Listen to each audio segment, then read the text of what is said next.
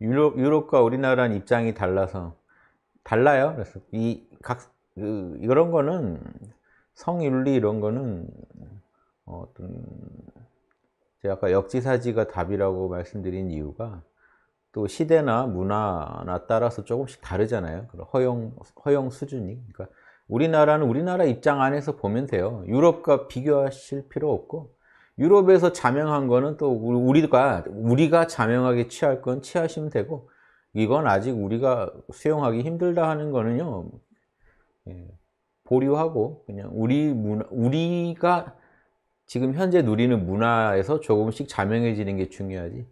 다른 나라랑 막 이렇게 비교하는 거는 그 중에 우리가 수용할 만한 자명한 걸 찾는 거지.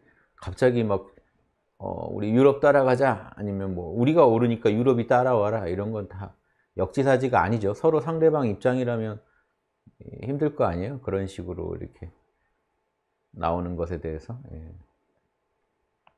다른 나라 성윤리도 두루두루 알아두면서 어, 우리나라 분들이 이제 좀 수용해야 할 만한 거 있으면 또 공감대를 형성해 보고 이런 게 중요할 것 같습니다